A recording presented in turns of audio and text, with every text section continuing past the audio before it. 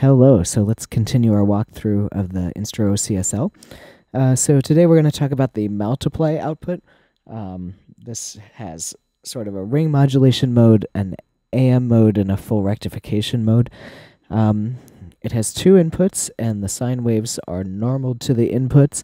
So if you plug nothing in, you get a sine wave from each of these oscillators. Obviously, we can use this circuit to plug in outside things. Um, this kind of sits next to my A times B plus C because they kind of work in that same way. As we turn this up, we'll get our volume, and you can hear the ring modulation happening. If we push the button, there's our AM.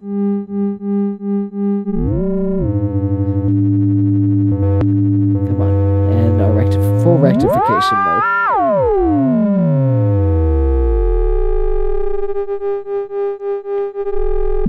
So you can get a lot of fun things happening. Um, you know, you take a sequence and plug it in.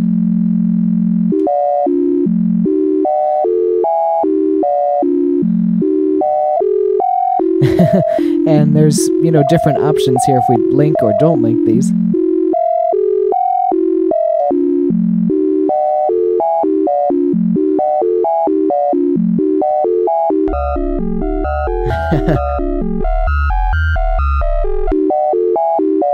okay, so different sounds to play with there. Another thing to note is we're not married to sine waves. We can have anything. So square waves if we want.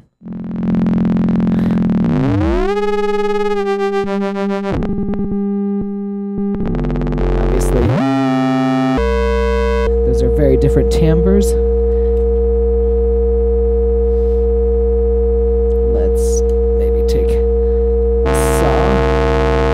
The nature of the circuit too is that the top is multiplied into the bottom, so um, the top has a pretty profound impact on timbre. Okay. Another thing to note: um, this circuit can kind of function as a VCA because of the way depth is working. So if I plug an envelope in there.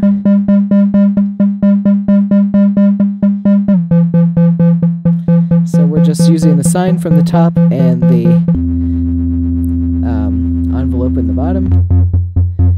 Same way it works the other way too.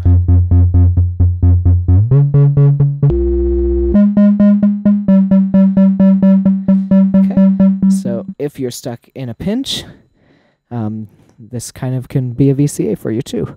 Um, so I hope that gives you some ideas to play with.